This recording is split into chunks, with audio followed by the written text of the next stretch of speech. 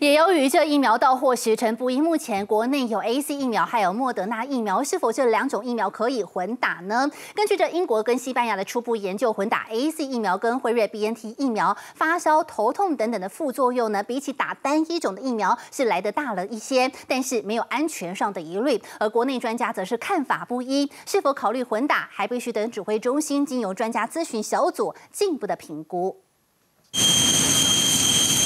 千呼万唤，第一批十五万剂莫德纳疫苗终于在二十八号抵台。食药署力拼六月十一号完成检验封监，加上日前到货的四十一万多剂 A Z 疫苗，外界好奇两种疫苗能不能混打。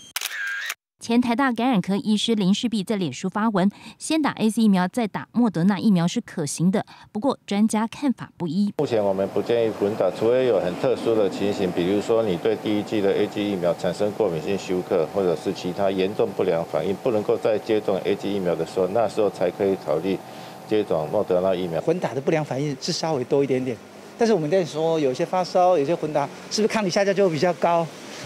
说如果用这样来关度来讲，哎，或许他们真的产生的抗体会比较好。国外初步研究，疫苗混打虽然副作用比较大，但是不会造成安全上的疑虑。有专家也认为，从过往轮状病毒、肺炎链球菌疫苗也有混合不同厂牌的经验，或许在现阶段疫苗不足情况下，可以考虑混打。用这样理论，可能是不是因为体内产生抗体的关系？所以呃，第二季在打的时候，可能如果是用不同不同的呃在不同的机转去做的疫苗，可能会。比较好一点点。国内目前都只有 A C 疫苗施打后过敏或严重不良反应，未来莫德纳疫苗也加入接种行列，施打后的情况也必须再观察是否两种不同疫苗混打。指挥中心说，还得由专家咨询小组仔细评估再做决定。记者综合报道。